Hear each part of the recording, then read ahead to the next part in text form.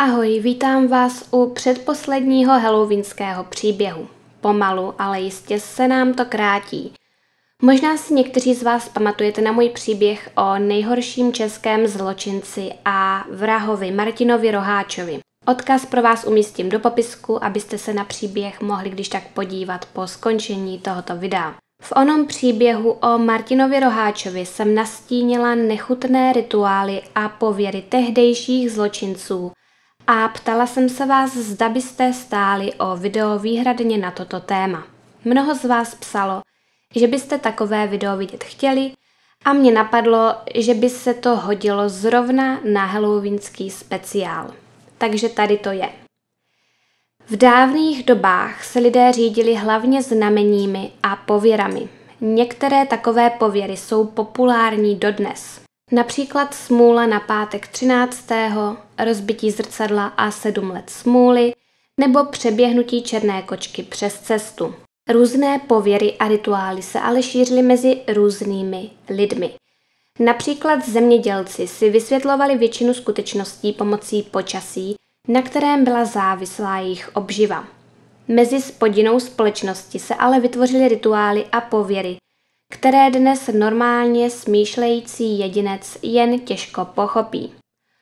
Pověrčivost zločinců byla spojena s magií a některé praktiky, které zloději a vrazy používali, se nedají popsat jinak než nechutně. Asi nejznámější praktikou, kterou jsme si nastínili právě v onom videu o Roháčovi, bylo používání ruky slávy. Šlo o reálnou, o skutečnou ruku mrtvého člověka. Ruka bývala buď usušená nebo v něčem naložená, aby vydržela. A aby ruka dobře sloužila, vyžadovalo se, aby patřila pokud možno oběšenému člověku. Těch ve středověku nebylo málo a tak zloději se zháněním takových ostatků neměli až takový problém. Taková ruka měla zločince ochraňovat při loupežích. Vykradači bytů či statků věřili, že ruka slávy zajistí, aby ve vykrádaném domě nebyl nikdo schopen slova ani pohybu, stejně tak, jako ho již není schopen mrtvý, ze kterého pahýl pochází. Ruka slávy zajišťovala, že domácí loupež prospí a ničeho si nevšimnou. Ale podle některých pověr uhranutí lidé pod mocí ruky slávy i přes svou neschopnost pohybu – Všechno dění kolem sebe vidí a slyší a tak takové lidi lupiči pro jistotu častokrát i vraždili. A právě ti méně krutí zloději předpokládali, že ruka oběti úplně uspí a tak je nebude třeba zabíjet. Takže se to rozdělovalo na takové dva hodně divné tábory. Postupem času se tato praktika pozměnila poněkud k horšímu. Někteří zločinci do ruky nalévali rozpuštěný tuk z oběšeného zločince. Jiní ruku přímo z tohoto tuku modelovali a následně z ní udělali svíci, aby při loupení dobře viděli. Jiní také věřili, že musí mít svící tolik, kolik je ve vykradené domácnosti lidí. Nejextrémnější verzí této praktiky je svíce vyrobená z prstu novorozence nebo dokonce z nenarozeného dítěte. To je zřejmě důvod, proč během 16. a 17. století tak moc narostl počet vražd těhotných žen po celé Evropě. A může to být důvodem, proč vraždil i samotný roháč. Další pověra, o které si řekneme, souvisí s katovým provazem.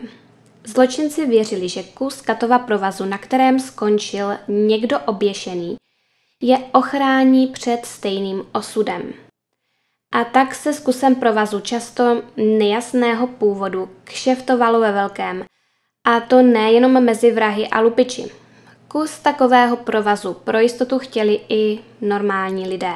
Veřejnost i zločinci provaz z oběšence považovali za jakýsi talisman štěstí, jeho neúčinnost však dokazuje hned několik případů, kdy byl zločinec oběšen s kusem tohoto talismanu v kapse. Mezi takové údajně patřil i několikanásobný vrah Martin Lecián a ten byl oběšen dokonce až v roce 1927. Někteří zločinci zase mývali při svých loupežných činech u sebe aspoň nějaký menší lup pocházející z jejich první úspěšné kořisti. Doufali, že jim takový talisman přinese štěstí a loupež se vyvede stejně jako ta první. Někteří takovým pověrám věřili tak moc, že pokud u sebe neměli oblíbený amulet nebo talisman, tak se do činu raději vůbec nepouštěli. Lupiči, kteří vykrádali pokladny, věřili, že když na roh pokladny položí několik mincí, nebo pokud budou po místnosti rozhazovat mák, zmocní se tak větší kořisti. Zjistila jsem také, že zločinci v dávných dobách věřili, že mohou vyléčit jakoukoliv pohlavní nemoc tím, že dojde k pohlavnímu styku buď s neposkvrněnou panou nebo zvířetem. Dále bych chtěla připomenout pověru, ve kterou věřili právě Martin Roháč a jeho loupežnická banda. Vraždili těhotné ženy jen proto, aby z nich vyřízli plod, který poté odnesli.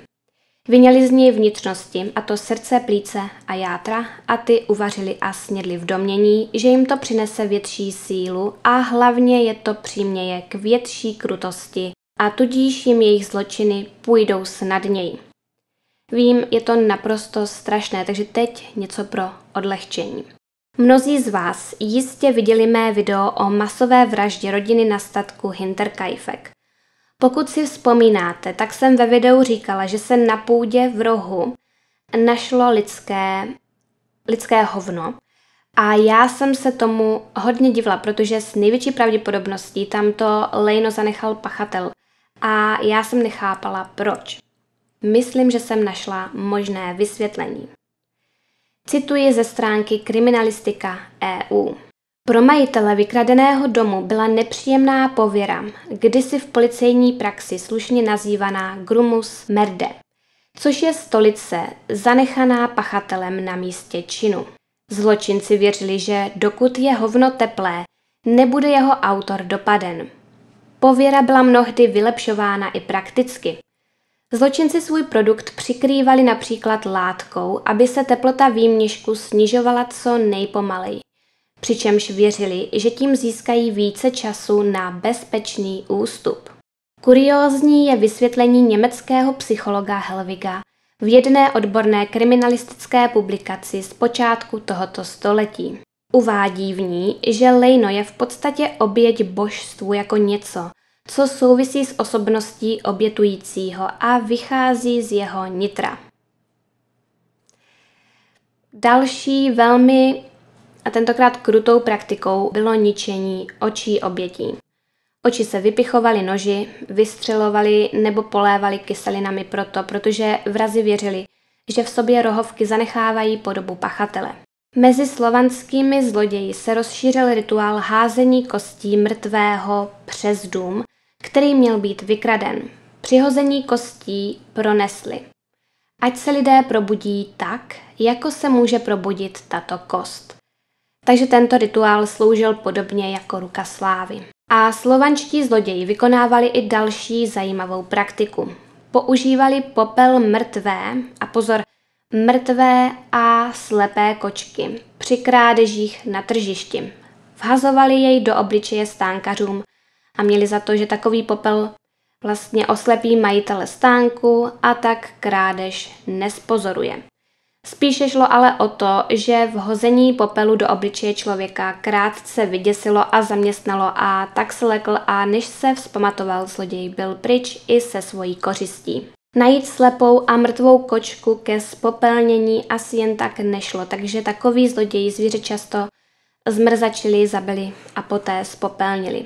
No, myslím, že je fajn, že se ty časy v tomto ohledu změnily, protože většina těch praktik byla opravdu nadmíru nechutná, um, strašná a krutá. Ale myslím, že to opravdu bylo vhodné video na období Halloweenu. Budu moc ráda, pokud pod video napíšete nějakou zvláštní pověru, kterou znáte. Pokud víte o něčem zajímavém, podělte se o to s ostatními. O času vydání a tématu dalšího videa budu jako vždycky informovat na mém Instagramu krimi.příběhy. Odkaz najdete v popisku. No a pokud se vám toto video líbilo, dejte mu prosím like a kanálu odběr. Pokud jste tak již učinili, tak vám moc děkuji. No a aby vám příští příběh neunikl, můžete si zapnout upozornění kliknutím na ikonku zvonku pod videem. Na závěr bych chtěla poděkovat mým nejúžasnějším patronům. A jmenovitě je to tedy Klára, Apra, Janka, Kateřina, Lucie, Mirka, Natalí, Štěpánka, Anička, Dominika, Lukáš a Zuzana. A děkuji i těm, jejíž jména vidíte na obrazovce a také těm, kteří si přejí zůstat anonymní. No a děkuji i vám všem ostatním, jsem opravdu moc ráda, že má videa sledujete. Přeju vám krásný zbytek dne a budu se na vás těšit v sobotu, tedy na Halloween u posledního halloweenského příběhu.